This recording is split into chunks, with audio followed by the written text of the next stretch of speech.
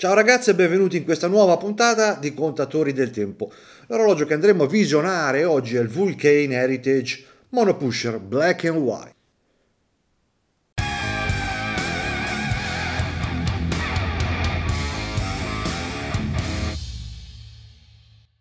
Un nome abbastanza complicato, Monopusher Heritage Black and White. Black and White poi tra l'altro è semplicemente perché l'aspetto è di così bicolore, no? reverse panda, perché poi di questo modello qua c'è anche una versione tutta salmone e una tutta nera mi sembra, eh, se non vado errato, con i sottoquadranti neri. Si tratta di una edizione limitata, 50 esemplari al mondo, quindi è un orologio anche abbastanza particolare che ho scelto perché rientra pieno nei miei gusti. Perché rientra pieno nei miei gusti? Perché lo vedete, è un orologio abbastanza compatto, semplice, sobrio, classico. E poi perché Vulcane è famosa per i cricket, no? per gli orologi svegliarino. E cosa hanno gli orologi svegliarino di particolare? Che hanno la corona e poi hanno il pulsante per regolare lo svegliarino in alto ad ore 2. Ecco, questo qua è un cronografo, ma più o meno la stessa architettura, lo stesso design, cioè è un cronografo monopulsante, quindi l'unico pulsante che c'è a ore 2 e richiama un pochino lo svegliarino pur non essendo, pur essendo un cronografo. Quindi una particolarità che mi è piaciuta e che poi come vedremo trovo anche molto utile, molto più utile della classica conformazione di un cronografo. L'orologio chiaramente mi è stato messo a disposizione dall'amico Giacomo, che è titolare della gioielleria Pasquali Domenici di Viareggio, che è titolare del marchio, cioè sono concessionari del marchio chiamateli perché vi offrono un prezzo di favore, no? È partner ufficiale del canale, quindi offre un trattamento di favore a voi che state guardando. Qualche piccolo vantaggio ce l'avrete, dai, diciamo la verità.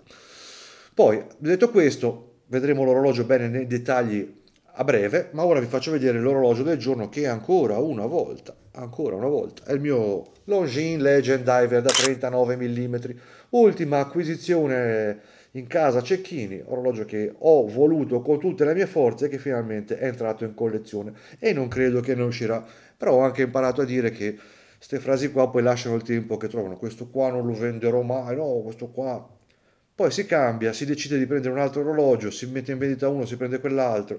Per ora dico che questo qua rimane nella mia collezione, almeno, cioè, cioè voglio dire, l'avevo già il 42, preso, vabbè, ci stiamo prolungando. Giriamo la camera, guardiamo il mono pusher di Vulcane e poi ci troviamo qui come al solito per le considerazioni personali. Diamo uno sguardo a ciò che ci restituisce la fredda matematica applicata all'orologeria. Diametro cassa 39 mm, spessore 13 mm, ingombro trasversale al polso 45.5 e interasse ansa da 20 mm.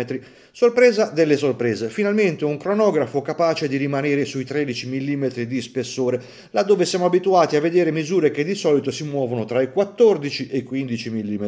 Direi un ottimo risultato che va sicuramente a rendere felici tutti coloro che aspirano ad un cronografo che stia bene sul polso. Se non bastasse, anche il lag to lag ed il diametro sono contenuti, rendendo così questo Vulcane facilmente indossabile da chiunque. Questi non sono dati da prendere sotto gamba, molto spesso ci siamo preclusi l'acquisto di un cronografo in quanto piuttosto sporgente al polso. Qui vi si pone rimedio, non ci sono scusanti. Volendo spulciare ancor più nel dettaglio, anche qui vale il discorso fatto sovente, ossia che essendo il vetro zaffiro alquanto sporgente, la resa visiva laterale è ancor più sottile dei 13 mm dichiarati. Lo si nota osservando il profilo cassa che mostra una carrure filante veramente ridotta in altezza, così come piuttosto corte e propedeutiche al ridotto lag to lag sono le anse. Il tutto condito da una differente finitura superficiale che vede nella spazzolatura superiore e nella lucidatura laterale il proprio focus. In linea generale ci troviamo di fronte ad un design globale classico che ricalca gli stilemi del cronografo formale con anse sinuose, lunetta lucida e trasparente bombato. Ciò che lo differenzia dal tipico cronografo è il fatto che la pulsanteria è ridotta a due soli elementi. Infatti si tratta di un crono monopulsante. Ciò significa che la funzione start, partenza dei secondi, stop e reset, come si vede, avviene premendo l'unico pulsante in sequenza. A questo punto mi domando perché tutti i cronografi non siano realizzati con questo sistema che ritengo più semplice e funzionale. Immaginiamo il vantaggio che si ottiene nel misurare un breve lasso di tempo senza dover spostare il dito da un pulsante all'altro.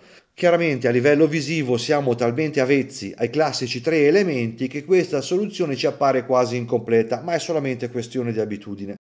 La chiave di tutto questo è il meccanismo interno. Si potrebbe pensare che sia l'ultimo ritrovato della tecnologia manifatturiera e invece è un semplice, tra virgolette, Selite SV510 a carica manuale nella sua versione monopusher.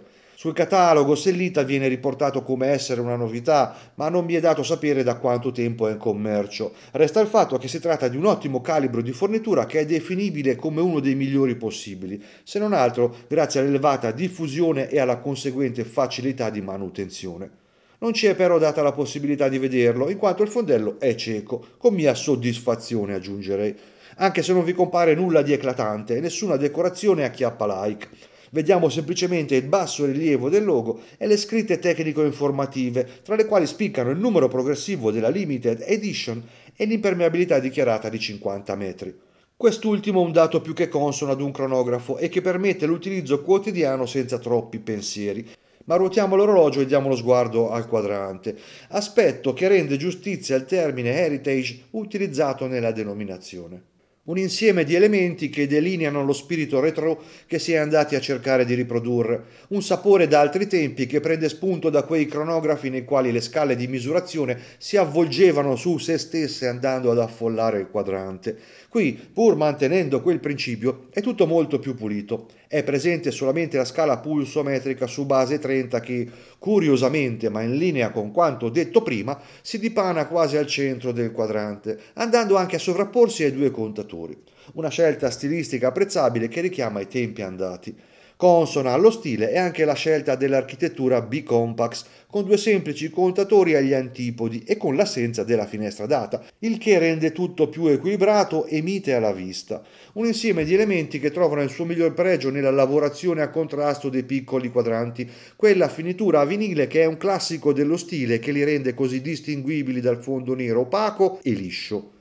Chiaramente è anche il contrasto cromatico a definire lo stile, il cosiddetto reverse panda che prende forma nel momento in cui i contatori chiari appaiono su di un fondo scuro, come in questo caso appunto. Va da sé che vi è anche una certa profondità di quadrante, dovuta principalmente ai recessi venutisi a creare grazie ai contatori e ai numeri arabi a corollario che appaiono in rilievo e alquanto lucidi. Spiccano per leggibilità, per pregio della finitura e per la scelta del color sabbia.